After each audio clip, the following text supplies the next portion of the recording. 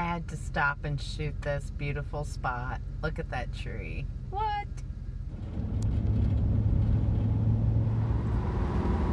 I just re-entered Arizona because the short little drive in California, I think makes, because I photographed on my web, so I have a few images now. of California. And I think if I count, and I haven't done it yet, but I think that's 25 states. Ah! Halfway. But I've, I've only touched California. So there's way too much of that. And that's going to be a while before I get back there, I think. But we'll see. I'm uh, headed to Tucson or thereabouts. And when I get there, I'll tell you. Um, oh, excuse me. So I am just kind of trucking along here, passing through Yuma. We were here yesterday or two days ago, restocking.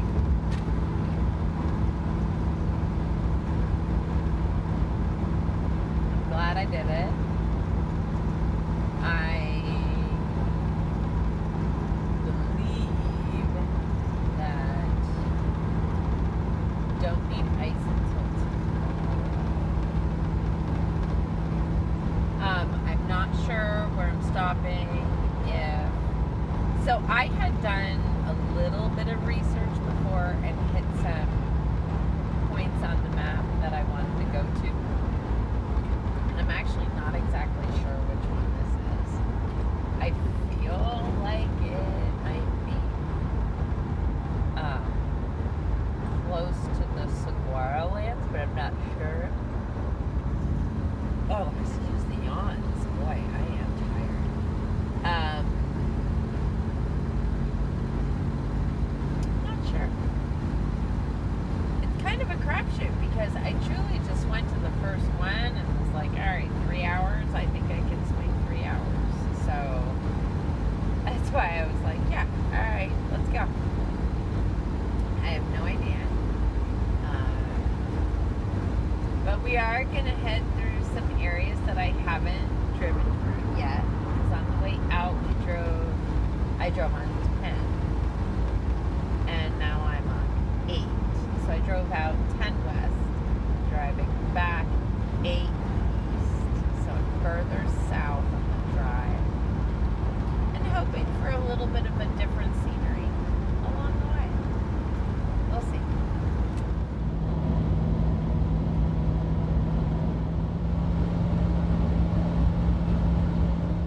Good morning. I do have sunrise coming. Not sure exactly where I am. I think I'm at a national monument of some sort, not far from Tucson. Um, about halfway between. Well, I mean, I think I'm like south of Phoenix, so I can't be that far west of Tucson. Anyway, the light is starting to crack on the horizon, and I need desperately to make my coffee. I'm gonna do that, and um, when the sun comes up, I will show you where I am. Last night was a crazy drive-in. Um,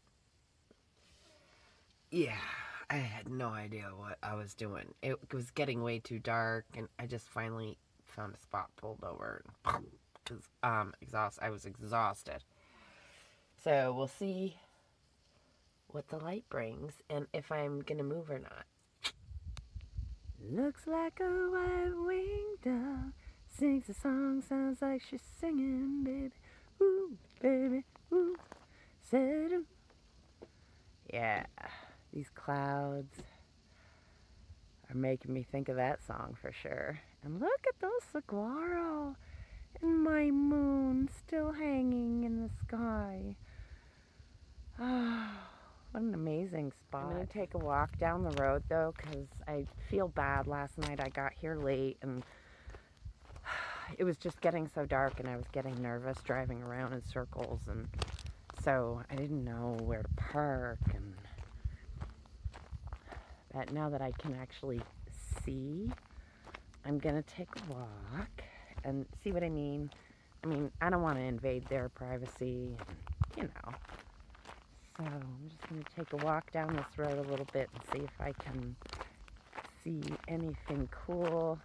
I started driving down here last night, but I'll show you why I stopped.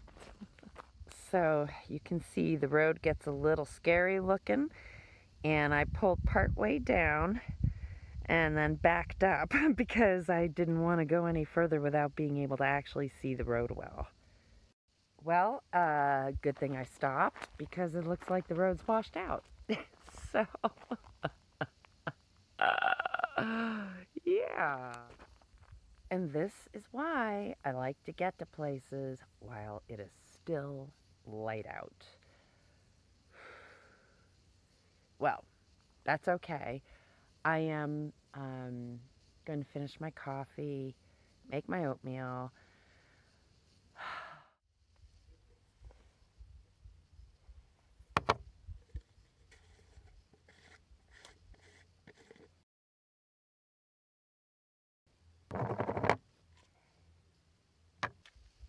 What are you doing? Getting some shade? Just getting all set up. All my stuff out. My paper is taped. And we've got a landscape to paint, my friends.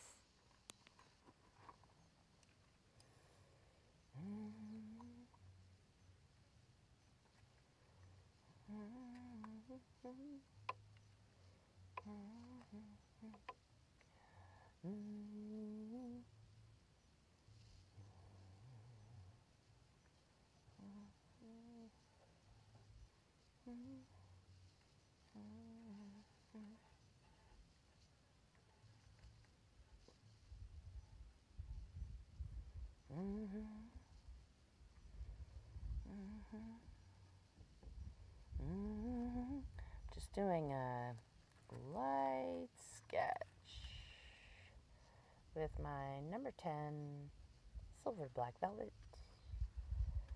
I'm creating my desert line where I want, ooh. So, you know, this is why I save a lot of these really um, almost muddy looking washes in my palette because they offer me really subtle earth tones that I can use in my underpaintings.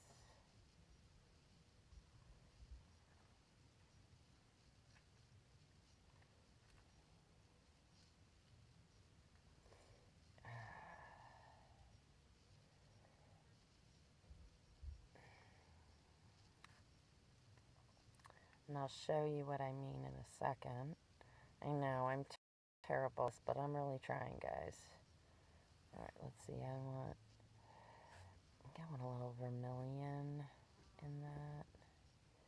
Yeah, that's nice. I know I'm doing this with sunglasses on, which is crazy because my mixing is going to be probably wonky. But I'm curious to see what happens Just gonna make a nice little mountain line. Don't want it too high because I got me a saguaro. Mm-hmm.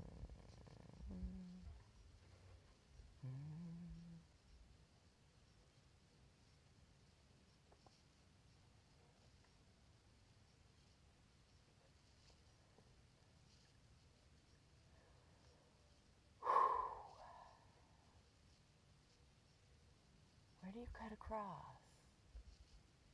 Kind of behind, huh? And then you come up like this and kind of a, like a little swoopy thing. Just a little bit above.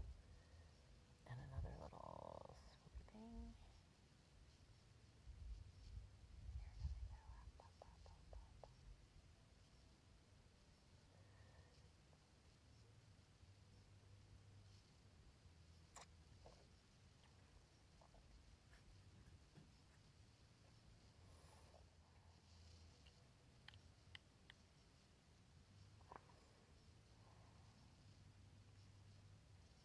All right, let me show you where I am.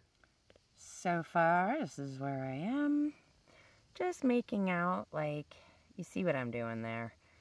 Throwing in some shadows, giving myself a ridge line to work with. Uh, being very simple about it. Most of what's behind there is going to be a very faded cloud line and then into the clouds. So we'll see what happens. I'm just going to have fun with this. I want to throw in, let's see. Nice little.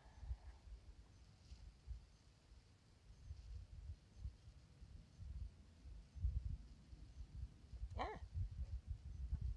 Hairs. Okay, so dust and hair is definitely an issue in some of these older washes. Right, come on, buddy. Off you go. Thank you.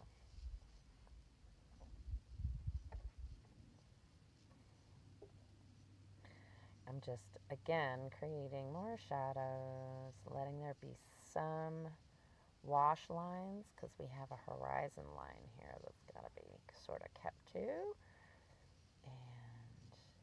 But I want these mountains to have like a really cool pinky sandy undertone. I know I'm not talking loud. I have neighbors.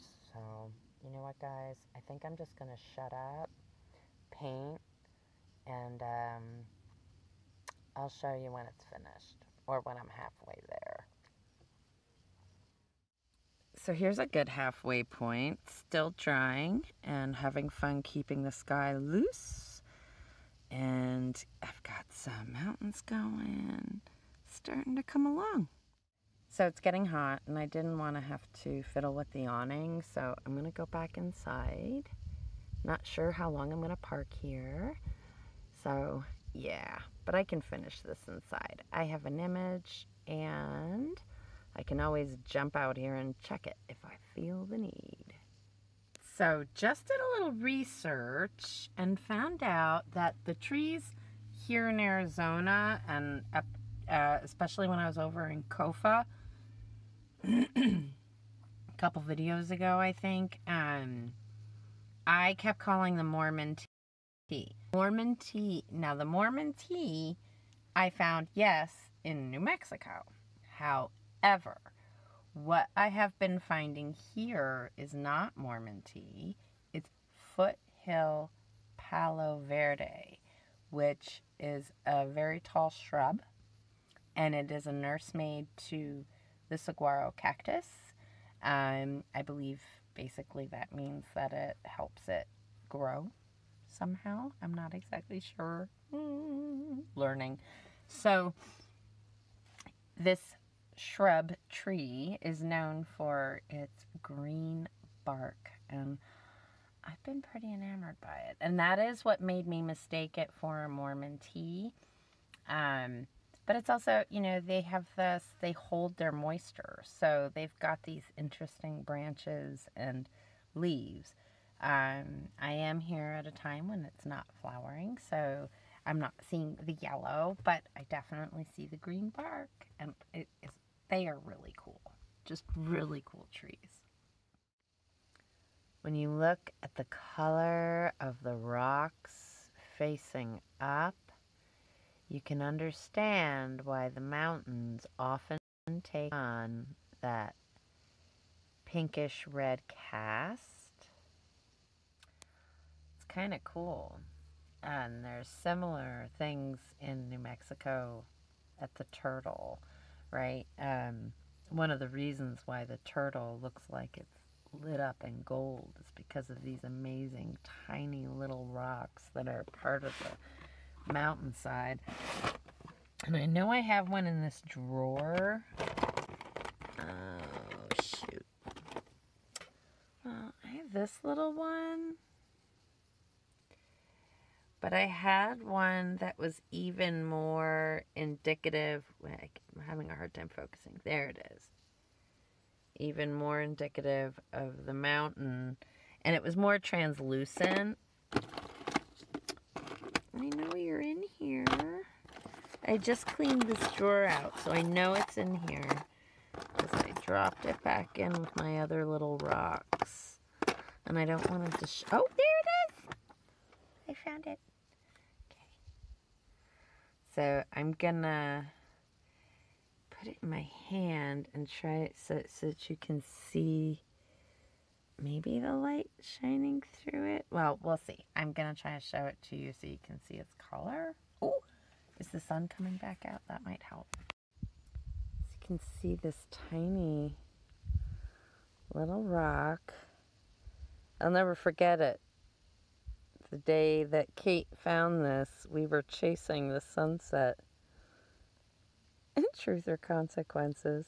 Kate's one of my new amazing friends from Truth or Consequences. And we went out just for a sunset drive, and then the light changed, and it was so cool. We stopped at Veteran Memorial Park, which has a great view of the turtle. And uh, the sun had just gone. We missed it. I missed it. I didn't get to take the photograph, but it was okay. She picked up this rock, which was the perfect color match for the hillside. Just awesome.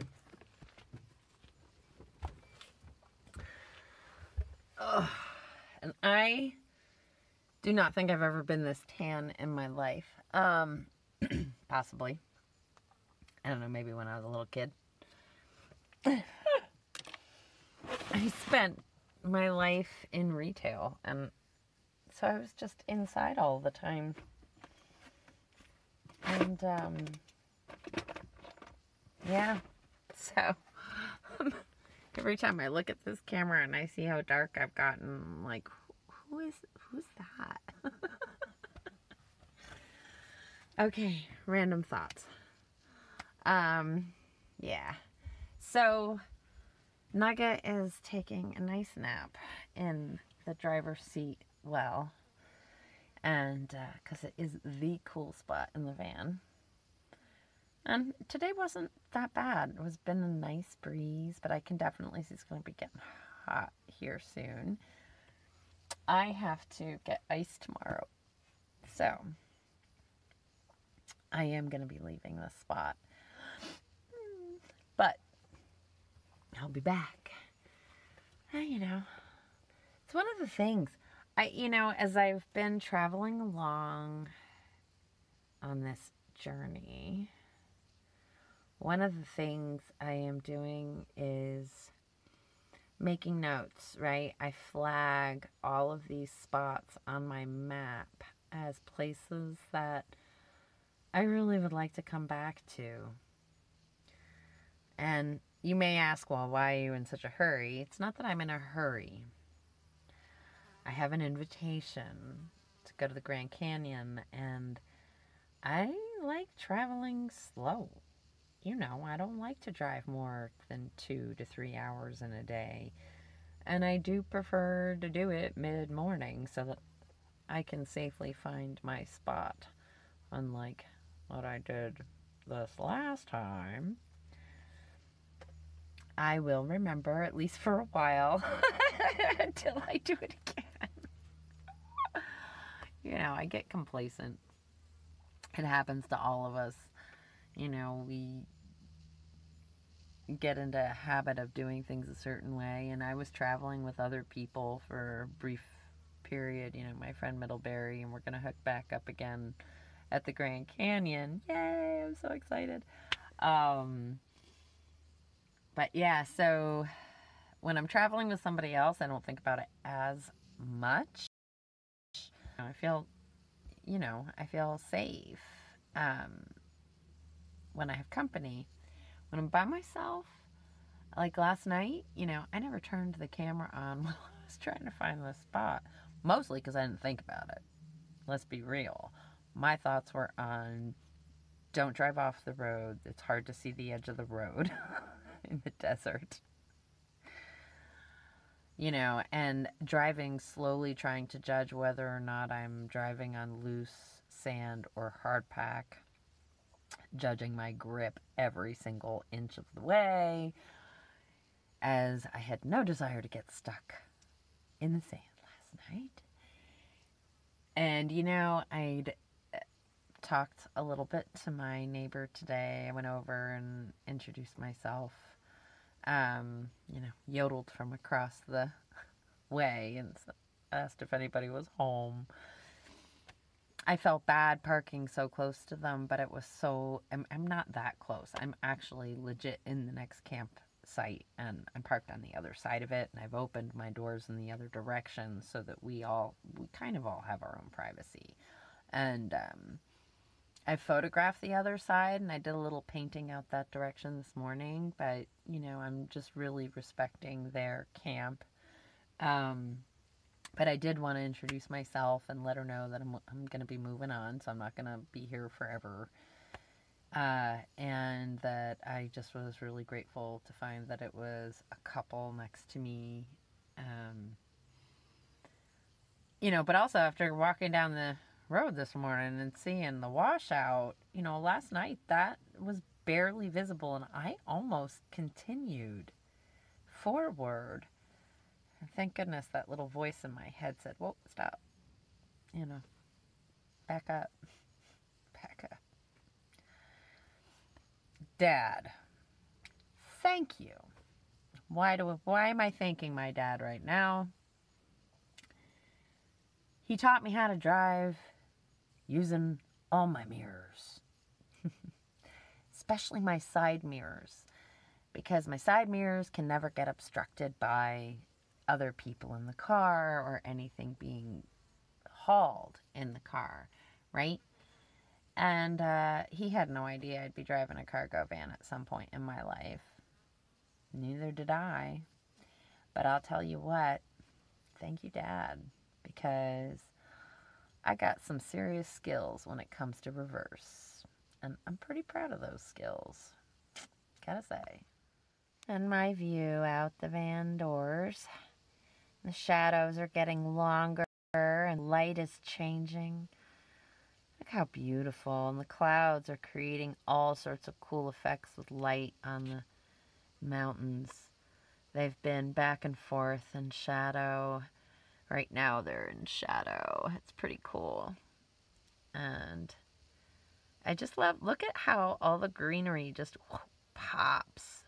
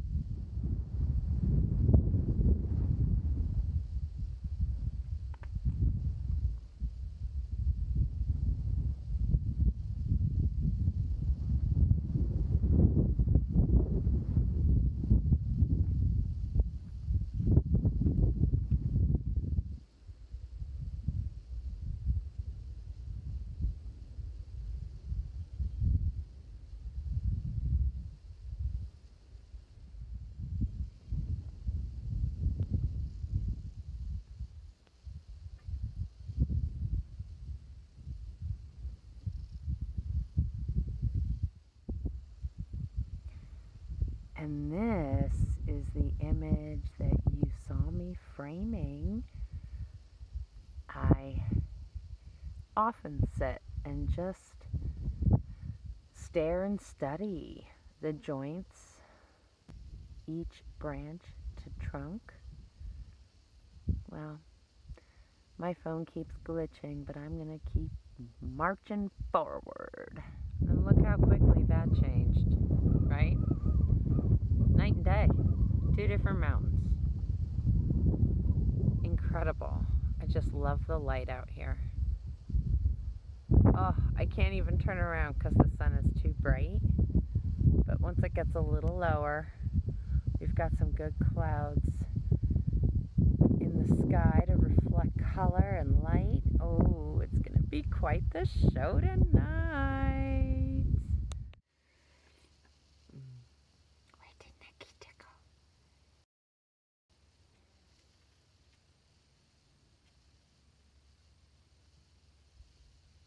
Killer is on. Oh, I know. I am noticing the sun is dropping, which means more predators are coming out. I am going to close the doors and lock Nugget in the van, and I am going to get changed into something a little bit warmer because the temperature is dropping, and I'm going to go watch the sunset. I am making myself a cup of tea. Nugget is just about ready to come inside as soon as my tea is finished. And look at the gorgeous sunset colors on the mountain there. What?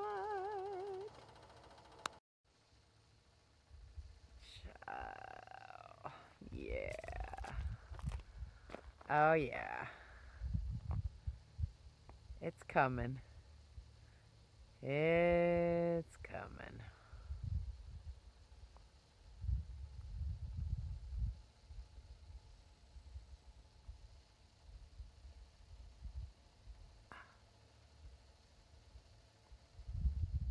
Can't forget this side.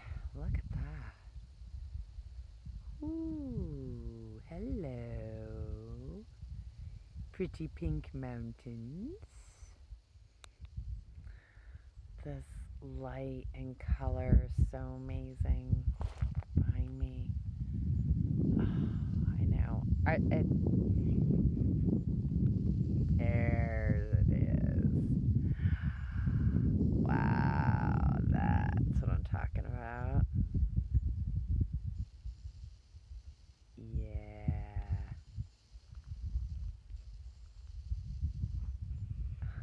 One last roll for the kid.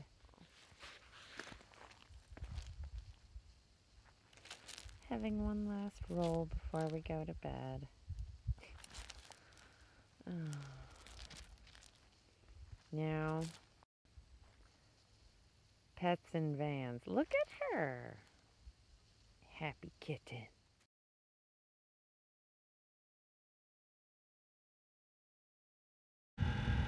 I was just pulling out of here and look.